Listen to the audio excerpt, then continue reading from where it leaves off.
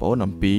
វិធីលាយចំណីឃ្មុំ បាទនៅពេលនេះគឺខ្ញុំបង្ហាញអំពីការលាយចំណីសម្រាប់ឃ្មុំ200ធុងប៉ុន្តែក្នុងការធ្វើសម្រាប់ឃ្មុំមួយធុងពីរធុងក៏វាដូចគ្នាដែរបាទរូបមន្តហ្នឹងគឺมันខុសគ្នាឆ្ងាយពេកទេប៉ុន្តែអានេះគ្រាន់តែបង្ហាញបងប្អូន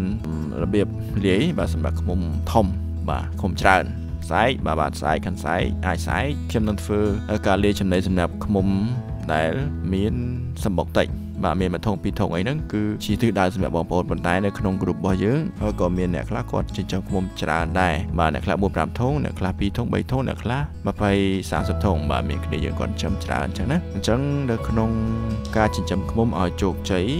ហើយយើងបានផលបានផ្លែបានផ្កាអំពីវាយកមក គឺវាមាន3ប្រភពសំខាន់សំខាន់ដែលធ្វើឲ្យឃ្មុំរបស់យើងគឺរីករូតលាស់បានល្អបាទទី1គឺចំណីធម្មជាតិ បាទអញ្ចឹងចំណីធម្មជាតិវាត្រូវការពីរប្រភេទគឺទឹកដមហើយនឹងកាបាទលំអងកាអញ្ចឹងសត្វឃ្មុំគឺចាំបាច់ត្រូវការចំណីពីរប្រភពហ្នឹងបានយើងចិញ្ចឹមឃ្មុំទៅជោគជ័យបាទបើមានតែលំអងក៏មិនជោគជ័យបាទបើមានតែ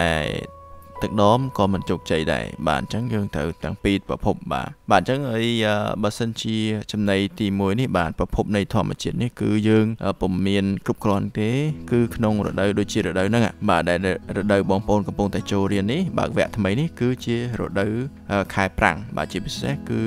អ្នកខ្លះគាត់កំពុងតែដាក់ឃ្មុំរបស់ពួកគាត់គឺនៅក្នុងតំបន់ចំការកស៊ូបាទអ្នកខ្លះដាក់នៅក្នុងចំការអាកាសាអ្នកខ្លះដាក់នៅចំការធូរ៉េនចំការសាវម៉ៅចំការណាមួយដែលគាត់គិតថាអាចនឹងបំលាស់ទីទូឃ្មុំរបស់គាត់ទៅកាន់ហើយងាយស្រួលបាទអញ្ចឹងវាទៅតាមអធិស្ឋានរបស់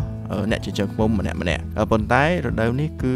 ជារដូវមួយដែលគេហៅថារដូវអត្តខាត់ បាទជាពិសេសគឺចាប់ពីរដូវកាលកោមកអ្នកចិញ្ចឹមឃុំទាំងអស់គឺគាត់ជួបផលលំបាកមួយ បាទតកតងទៅនឹងរឿងការដាក់ឃុំនៅទៅកាន់តំបន់ផ្សេងផ្សេងបាទទោះបីចំការកស៊ូក៏ដោយចំការណាក៏ដោយគឺសុទ្ធតែត្រូវការអាហារបំពន់បាទអញ្ចឹងអាហារបំពន់ទាំងអស់នោះគេហៅថាអាហារសពនិមិត្តបាទអញ្ចឹងអាហារសពនិមិត្តនេះវាមានពីរប្រភេទគឺទី1គឺទឹកស្ករដោយចេញអំពីស្ករសលាយជាមួយនឹងទឹកប្រភេទទី2អាហារទី2គឺគេហៅលំអងសពនិមិត្តគឺគេប្រើបាទគេប្រើសារជាតិផ្សេងៗដែលខ្ញុំនឹងបង្ហាញបងប្អូននៅខាងមុខវីដេអូអូខេបាទអញ្ចឹងថ្ងៃនេះគឺបងប្អូននឹងបានឃើញអំពីវិធីនៃការលាយចំណីឃ្មុំបាទអញ្ចឹងថាតើដើម្បីលាយចំណីឃ្មុំគឺគេប្រើស្អីខ្លះបាទហើយចំណែកទឹកស្ករគឺខ្ញុំនឹងប្រាប់បងប្អូននៅខាងមុខទៀតបាទអញ្ចឹងនេះគឺជាម្សៅសណ្ដែកបាទអញ្ចឹងដើម្បីលាយគេត្រូវការម្សៅសណ្ដែកបាទទឹកឃ្មុំ ហើយអឺបាទនេះគឺទឹកឃ្មុំបាទកាកសំណល់ទឹកឃ្មុំដែលវាសល់ដែលពេលគេច្រោះពីក្នុងកាននោះអីមកបាទអញ្ចឹងពេលនេះគឺគេដាក់ម្សៅសណ្ដែក25គីឡូបាទហើយគេដាក់ស្ករស40គីឡូអញ្ចឹងលើស2ដងហើយថែមកន្លះទៀតបាទអញ្ចឹងត្រូវការស្ករសមុនដាក់ស្ករសមកសិនបាទចាត់ស្ករសហើយហើយគេចាក់ម្សៅសណ្ដែកបាទលាយបញ្ចូលគ្នា បាទបន្ទាប់ពីម្សៅសណ្ដែកហើយ បាទគេប្រើទឹកដោះគោបាទទឹកដោះគោកូនក្មេងឬក៏ចិត្តហួរទលេចឹងបងប្អូនអាចទៅរកតាក់តងនៅកន្លែងចាប់ហួយបាទបាទកន្លែងលក់ចាប់ហួយហ្នឹងបើសិនជាម្សៅនឹងអាចហួរទលេអីហ្នឹងអាចទិញមកបាទហើយនេះគេលេងលំអងបាទអញ្ចឹងយើងទិញម្សៅទឹកដោះគោហ្នឹងមកដាក់វា2កំប៉ុងបាទពេលនេះគេដាក់2កំប៉ុងហើយនឹងគេដាក់លំអងដូច5គីឡូបាទដាក់លំអង5គីឡូហើយនេះដាក់ EM បាទ EM នៅពេលនេះគឺគេដាក់ប្រហែលមក10ស្លាបព្រាបាទ បាទអញ្ចឹងបងប្អូនទិញ EM ហ្នឹងមកបាទ EM មិនសូវថ្លៃទេមួយកំប៉ុងដែលខ្ញុំទិញបងប្អូនបានឃើញមិញអស់តែ10000រៀលជាងទេបាទនេះគឺទឹកឃ្មុំក្បាលទឹកឃ្មុំដែលវាអត់សូវល្អ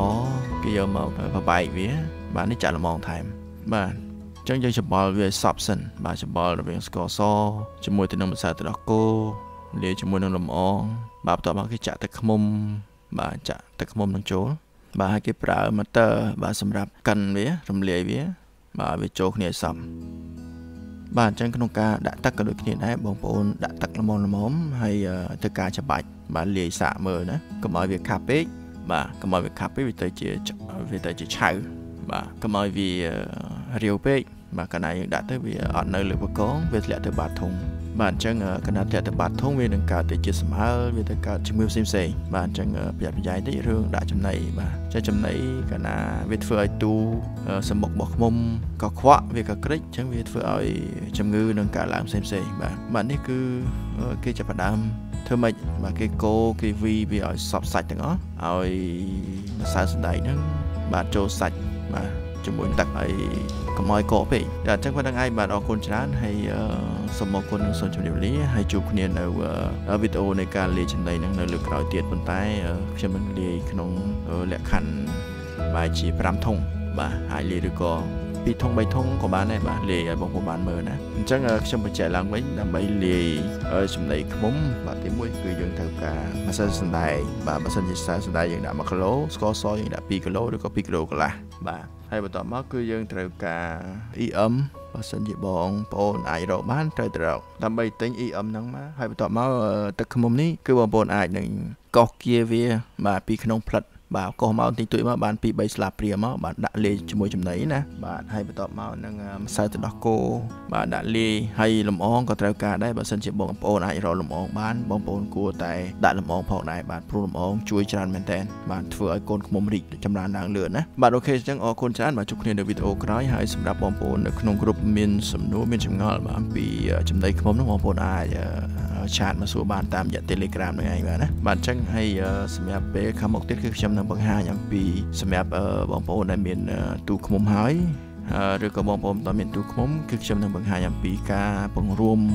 ពង្រួមពូជបាទពង្រួមពូជខ្មុំណាឧទាហរណ៍តែយើងមាន5ធុងឬ6ធុងអីចឹងគឺការមានទូណាមួយដែលវារាងខ្សោយជាងគេមេអន់ជាងគេគឺយើងត្រូវតែពង្រួមទូវាបាទដើម្បីឲ្យសម្បុក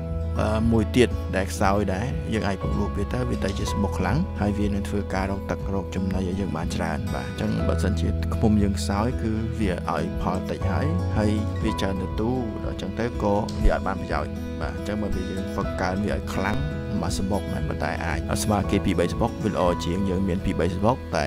ពេលដែលប្រមូលផលវាអត់បានស្មើនឹងមួយសបុកបាទអញ្ចឹងនៅវីដេអូក្រោយខ្ញុំនឹងបង្ហាញបងប្អូនអំពីការពង្រួបទូបាទ